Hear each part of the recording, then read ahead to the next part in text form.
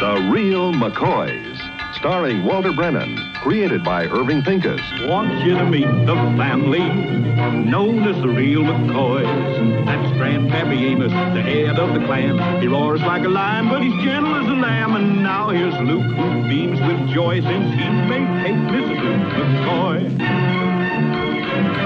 From West Virginia they came to stay in sunny California. Hey old Grandpappy Amos and the girls and the boys of the family known as the real McCoys.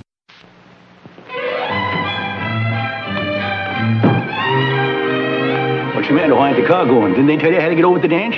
Maybe you will, but this car won't. What do you mean?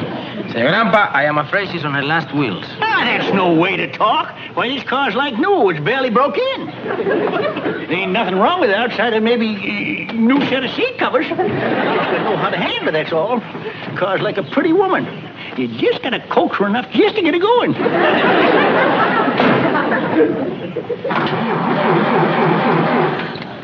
now, come on, baby. Come on. Come. Yeah, see that? Just like a baby. All she needed was a little bumping. now, what in tarnation's the matter with you? Have you got the choke out? Of course I got the choke out. I threw it away last year. Are you having trouble with the car, Grandpa?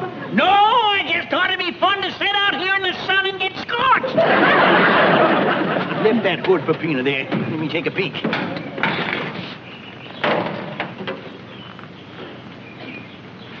Well, Balin, wire looks like it's holding real good. Here,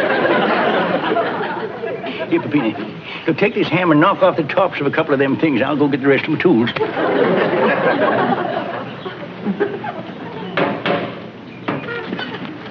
Where's my toolbox at? It's in the kitchen. Talk to him about the car now, Luke. I will, I will. Just don't think this is the right time. Uh, Grandpa, you think maybe I ought to call Florrie and tell her you're going to be a little late? Tell her nothing. Well, she'll be wondering where you are. She's waiting on you. Well, leave her wondering, leave her wait. Who asked you to go to the dance anyhow? You did. Well, a woman getting a lucky break like that shouldn't ought to start complaining. Turn over, you lockhead. Look at the floor. Car sure has a sorry effect on his personality.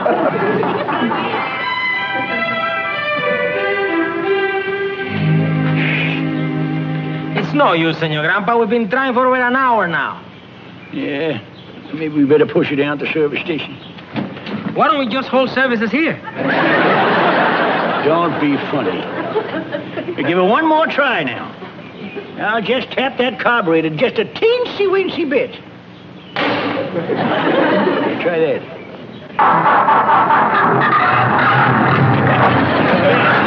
All she had to do was know who was boss. Now you keep her running smooth like that. I'll be right back. Hurry, Senor Grandpa. I am getting seasick. Outsmart me. Now's the time, Luke. Well, I don't think. Now. Uh, Grandpa, I'd, I'd kind of like to talk to you about the car. I don't want to talk about that rusty old wreck. Grandpa, I, I was thinking maybe we ought to trade her in. You want to trade in a jewel like that? you out of your mind, boy? Grandpa, I was talking to Kate about it. Now, wait a minute. You mean Kate was a talking to you? It's always a woman that starts that kind of trouble. Now, that ain't fair, Grandpa. This is all your fault, giving her all this. Uh, snap-on lights, curtains on the windows, and ceilings over every room. Now, I asked you, woman, what's the matter with that car? Well, now that you ask me, Grandpa, I'm going to tell you. First off, when you ride along in that back seat, them springs dig right into your back. And that, That ma- just shows you don't know what you're talking about, because them back seats ain't got no springs. That what you're leaning against is just pure metal. Now, look, Now, I don't want to hear no more from you. That car's been a McCoy longer than you have, and we ain't a trading her in, and that's final.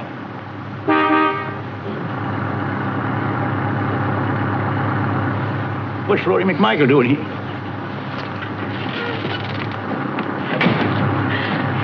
Thought I was supposed to pick you up at your house. I know, Amos, but when you didn't show up, I knew you were having trouble with your car. well, does it look like I'm having trouble? I was just tuning her up to a fine pitch, that's all. well, come on, let's crawl in and get going here. oh, Amos, as long as I'm here, why don't we go in my station wagon? What's the matter? Are You ashamed to go in my car?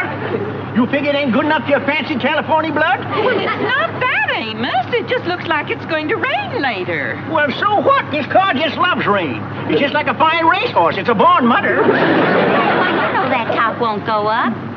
That top will go up when it's supposed to go up. It's just like you women to hang together. I bet you put the ideas in her head to make the remarks about this car. What, what are you talking about, Amos? Well, I ain't going to stand here and have you insult this car no more. And if you're going, you get in right now. Well, we're just going to get all wet. Now, look, Florrie, I'm a real patient man. But if you ain't in this car by the time I count three, then I'm going by myself. One, two, Amos, you're just being stubborn. three. And I'll probably be half gassed out by the time you get there.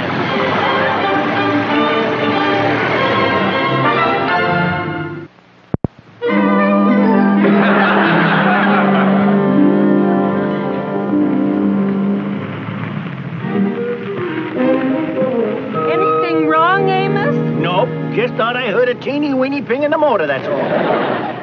Well, you'd better come along with me. Looks like that rain's getting closer. Now, look, Florrie, I didn't ask for no weather report, so you just get going. When you see something whizzing by you, that'll be me. All right, Amos. Now, you heard me defending you. You do something for me. Get going.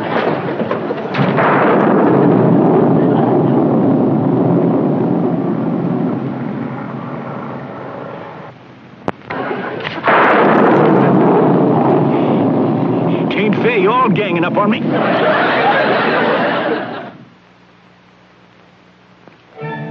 Well, looks like it finally stopped raining. Sure comes sloshing down there for a while, though. Mm-hmm. Hello? Oh, Floyd. Did you two have fun at the dance? No, Grandpa ain't home yet. He didn't? Grandpa never showed up at the dance. What happened, Florrie?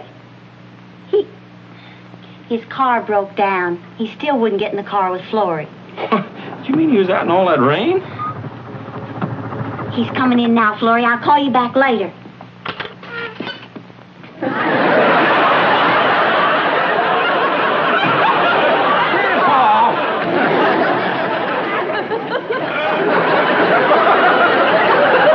Wonderful dance. Never had so much fun in all my born days.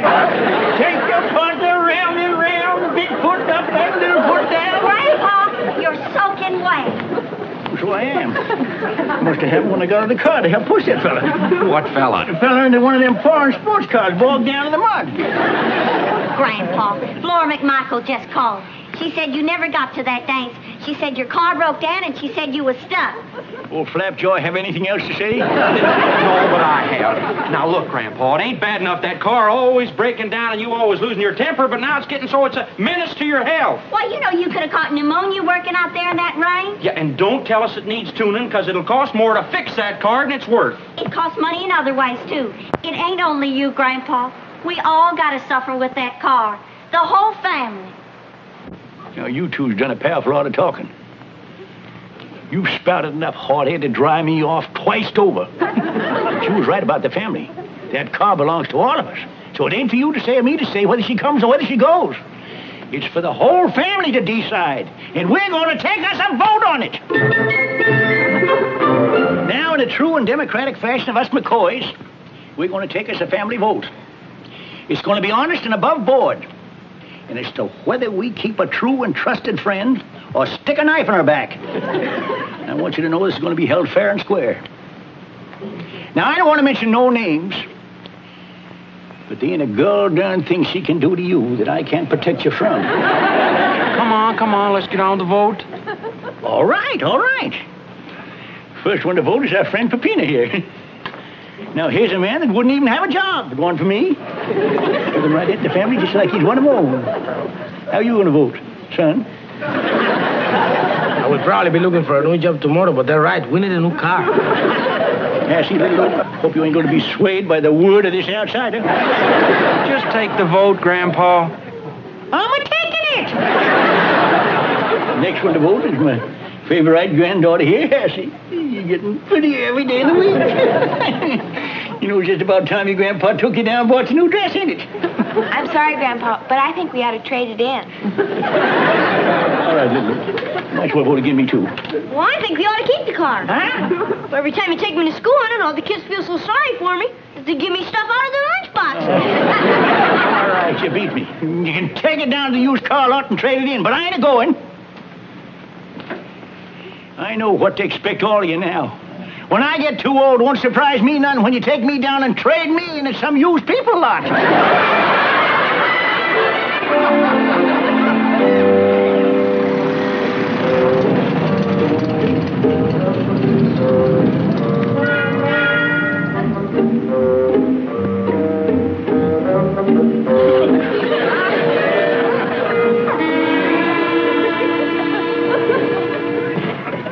Now remember, Kate, let me do all the dealing. Well, all right, Luke, but you be careful. Oh, don't worry, sugar babe. I got Grandpa's blood in me. Horse trading comes natural. The main thing is don't appear too anxious. Let them do all the talking. Well, howdy, friends. San Fernando Harry's my name. Oh, how do? Where's McCoy's, my wife? Uh-huh. Well, you thinking of trading her in? Well, could be. Like to get a little newer model, eh? Might be. You've got yourself a shoot husband here, ma'am. well, she looks like a nice, clean job. Uh, what year is she? 1930. Late 1930. Ah, ah, ah, you, you are shrewd. Trading her in when you can get top dollar for her, eh? Friends, I'm going to be really honest with you. I got a buyer for this car. In fact, I must deliver a 1930 model to this man today. As a matter of fact, I'm willing to take a loss on any car I got in my lot. Friends, you really got me over a barrel. Looks like we got here at just the right time. Naturally, I assume you folks want to step up in class a little bit higher, huh? Now, over here, I've got a beautiful 58 model. 58? Well, that's pretty high stepping. Well, we have some lovely 57s. Well, that's kind of out of reach, too, mister. Well, how about a 56? Just what did you folks have in mind? Well, something like a nice 38. 38? What are you folks looking for, a gun or a car? A car. well, I think I got just what you want. Now, if you'll come right over this way.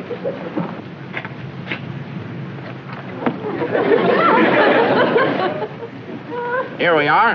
A one owner 48 model executive car. And I want you to notice all the extras. Space for a spare tire. Standard transmission. Even a place for radio. And a heater. He's got a heater? Right there. Hey, how about that, Kate? It's got a heater. Now, on cold nights, Grandpa won't have to take along a bucket of hot coal.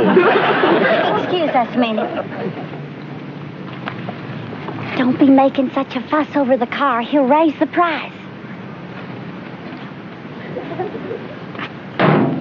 How much you asking for that old pile of scrap iron? Well, being as I need your car so bad, I'll tell you what I'm going to do. You can have her for your old car and uh, eighty dollars. I'll tell you something else. If you're not 100% satisfied, you got five days to bring it back.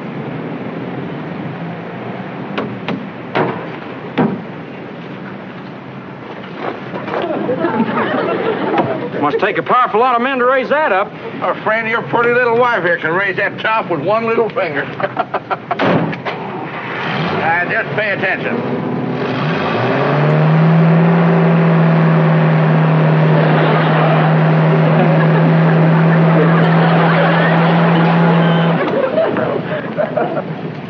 Well, how are you going to find fault with a car like that?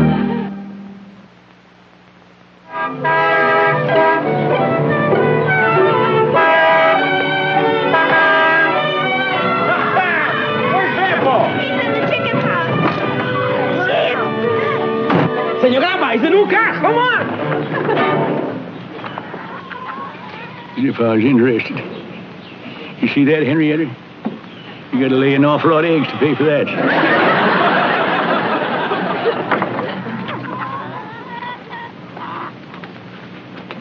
well, you girls don't know it, but you're all in debt. Grandpa? Grandpa, don't you want to take a ride in the new car? I ain't got time. Oh, Grandpa, it's mighty pretty. It's a 1948. You sure have gone Hollywood, ain't you? Grandpa, you just push a button and the top goes up. It's got a heater and there's a hiding place in the rear end for a spare tire. oh, Grandpa, you'd have been proud of the deal I made. Only cost me $80 and I got a whole year to pay it off. I don't like it. Ain't got no character. All slick and shiny out there. You mark my word, Luke, it'll turn on you. Well, now, that ain't fair, Grandpa. That car ain't done nothing to us. It ain't done nothing for us, neither. Now, look, Grandpa, why don't you just come out and sit behind the wheel and, and kind of get the feel of it? No, you all get in that car and you just speed up and down the highway like a bunch of rockin' fellas. Okay, Grandpa. Luke. Who'd you sell the old car to? Uh, used car lot in town. San Fernando Harry. You seem like a fella that take good care of her. yeah, don't worry, Grandpa. He'll take care of her. Think he put her under shed in case of rain? Yeah, I'm, I'm sure he will. And you told him about throwing a blanket over the hood at night, and if it's real cold in the morning, to pour hot water in the radiator. You know, she never was herself until she had hot water in it. Yeah, yeah, I told him. You told him she didn't like to be double clutch going up a hill? You know, she's funny that way. Yeah. Uh, look, you sure you won't take a little ride with us? No, not now, Luke. Not now.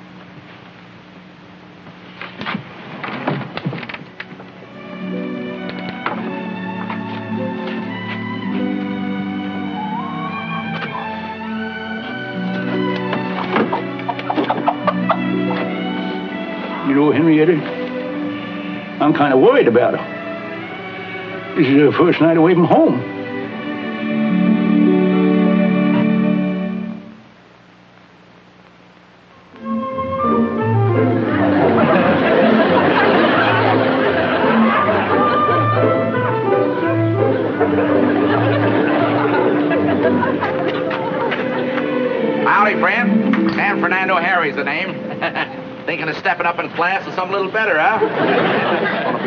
Honest with you. I got a buyer for that bicycle. Uh, my grandson sold your car this morning. There's some things about it I think you ought to know. Oh?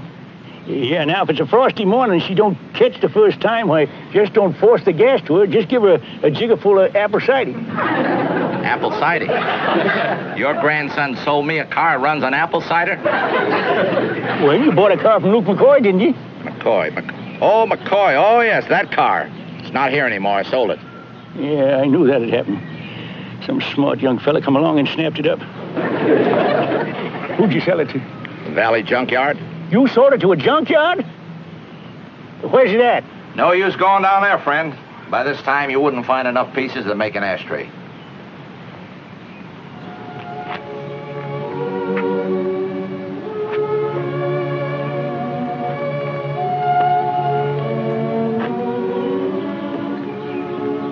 Radiator cap.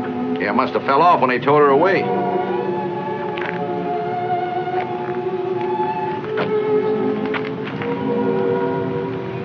Still warm. I'm getting hungry. We ain't gonna eat until Grandpa gets home. Well, they like him to just go off like this without saying nothing. Well, Grandpa. Grandpa, where you been? You done that. I hope you're all proud of yourselves. What are you talking about? They shipped her off to a junkyard. She never had a chance.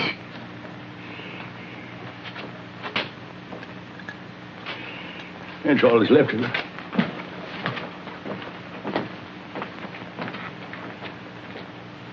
You know what I think? No sé cómo se sienten ustedes, pero yo me siento como un gran sinvergüenza. Well, what does that mean? Well, I don't know about you, but I feel like one big hill.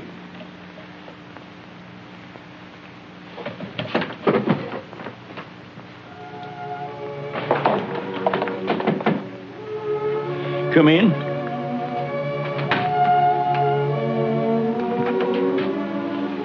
Grandpa, we uh, want to talk to you. We didn't know they was going to send it to a junkyard. Honest, Grandpa. It's all right. No hard feelings. What's done is done. Car's gone. Just have to get along without it, that's all. Ain't the first thing I ever lost. Probably won't be the last.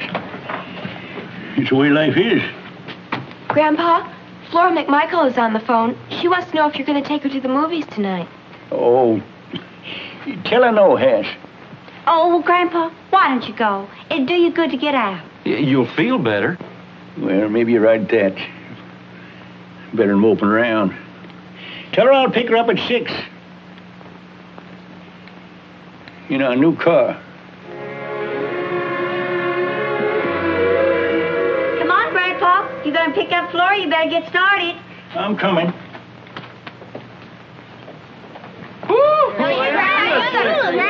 Have a good time, Grandpa.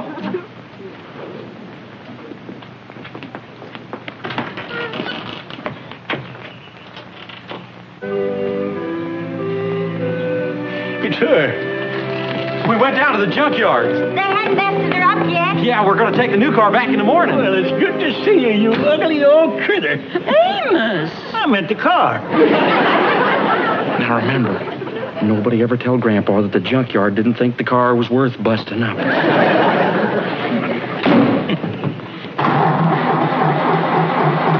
Come on, turn over, you lop-eared bucket of bolts, or this time I'll get rid of you for good.